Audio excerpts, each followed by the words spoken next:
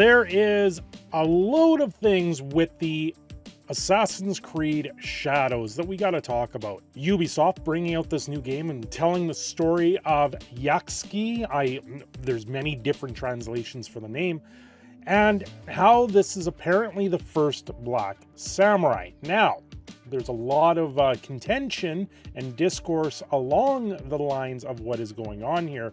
And I've read a lot in the last few hours here, trying to get caught up on what the story they might be portraying.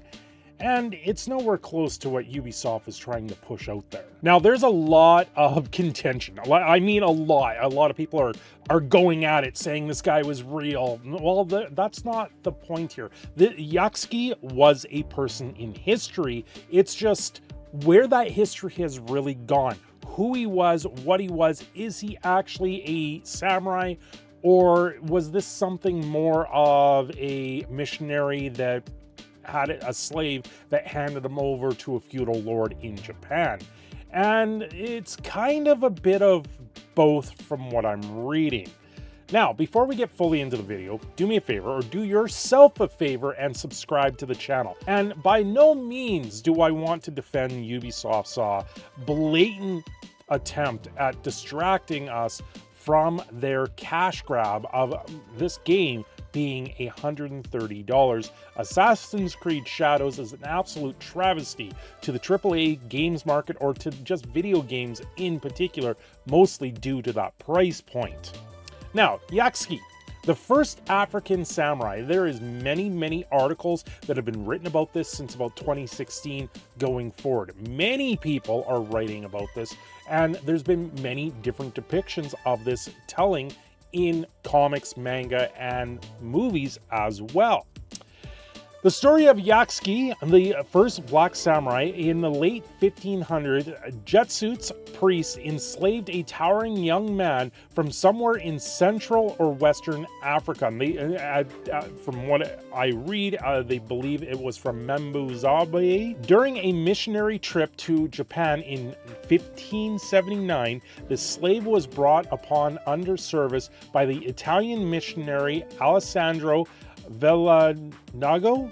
His dark skin would cause quite a stir as the local people would become quite fascinated at the sight of him. In fact, he became so talked about that Oda knew Nobunaga, the uh, unifier and ruler of Japan, demanded his presence so that he might see a giant black man for himself. This is actually kind of untrue.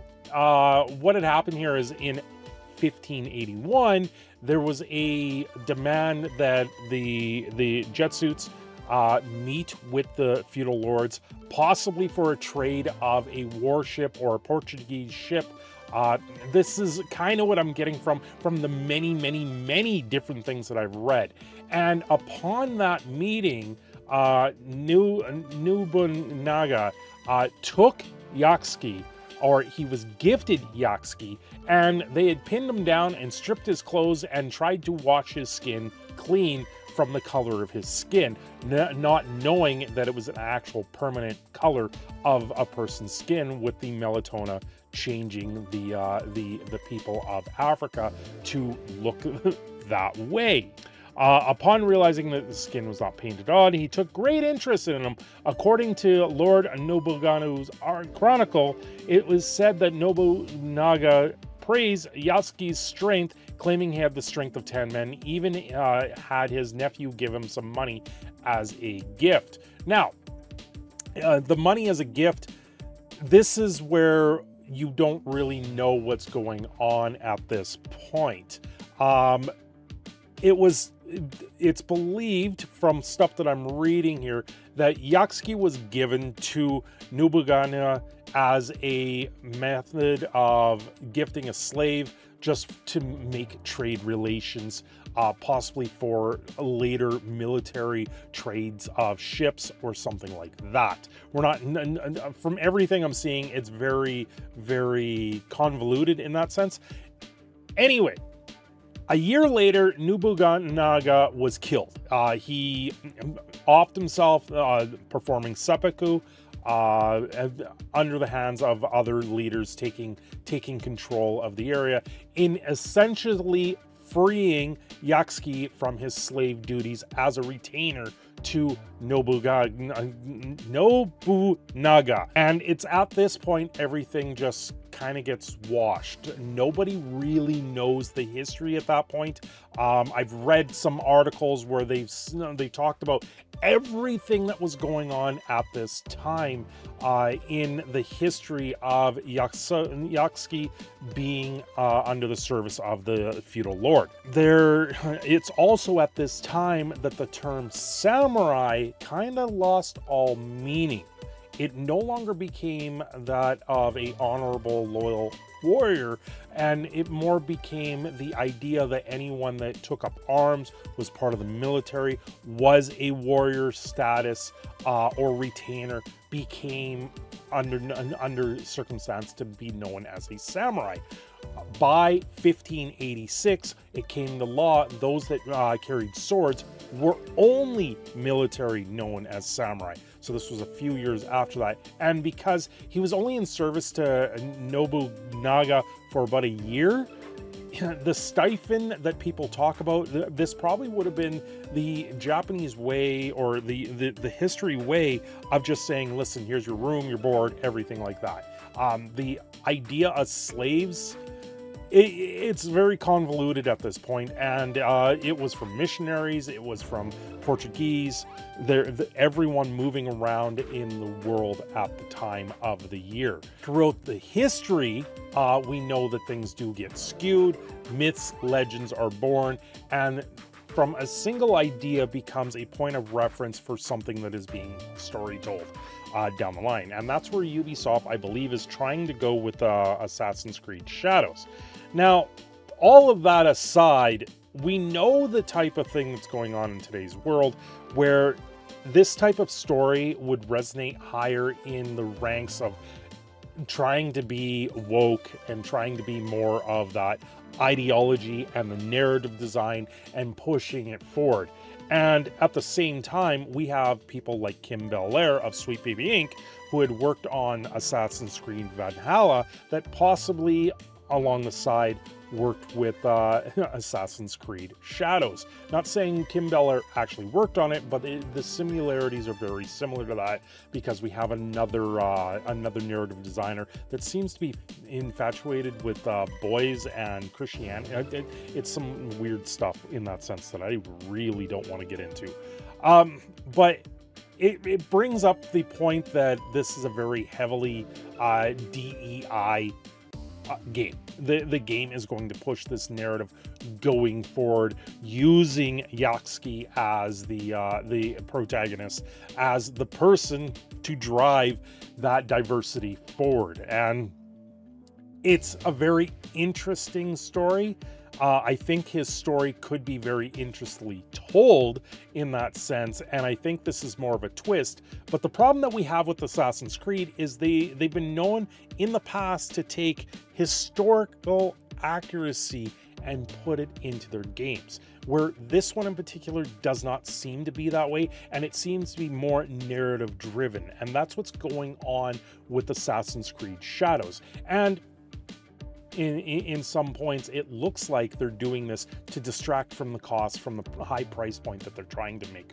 for the game. Now, during all of this, I have come across a few articles also saying they're debunking the pseudo historical myths about Black Samurai. Uh, is a interesting historical favor, but a samurai he was not, and this is something that's resonated across many different titles right now, across many different articles. We're seeing where people saying he wasn't a samurai, more that he was retainer, or in this case, probably a slave to the feudal lord system that was going on here.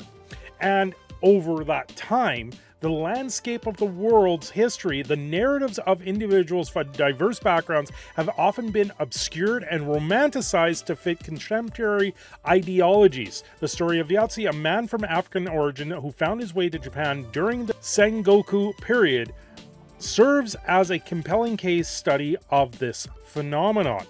Yatsuki's historical journey from possibly being a slave to becoming a retainer in the household of Oda Nobunaga, one of Japan's most influential daimyos, is a narrative ripe for exploration and reinterpretation. So that's where we are. Like, is the game going to be woke? Is the game going to put in narrative design that actually does not fit with anyone's values? Is it going to retell a story that's absolutely not true? Quite possibly.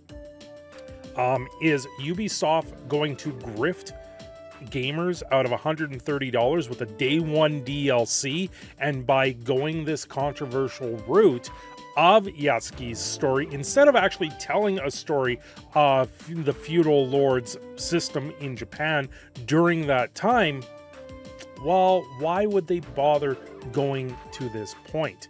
This is one of those cases where narrative design is trying to reflect history and trying to push the message more than the actual design of the game.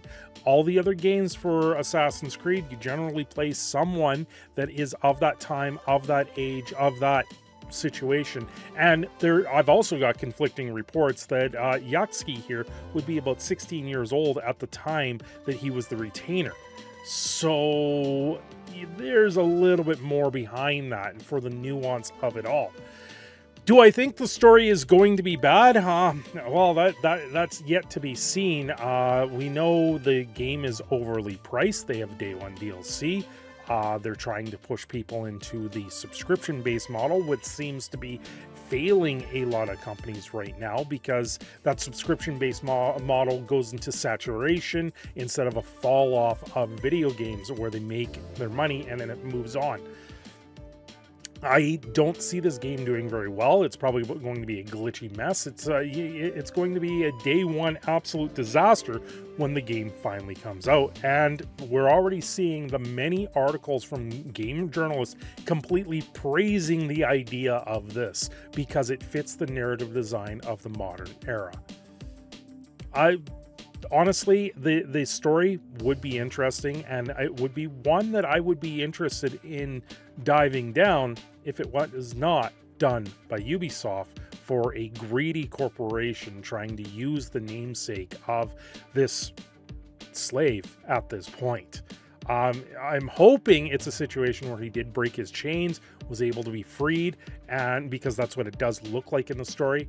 But I'm not. I, am not hopeful from Ubisoft. I'm not hopeful on that situation. And this is a game I'm just gonna sit back and watch. Uh, a lot of the Assassin's Creed games they've just fallen off. Uh, so it'll be an interesting place where this game really does go. It could be good. It could be bad but under the control of Ubisoft, it's going to be uh, very questionable. Anyway, I'm your Prog Phoenix Cindershadow. I'm signing off here. Have yourselves a great day. Don't forget to like and subscribe.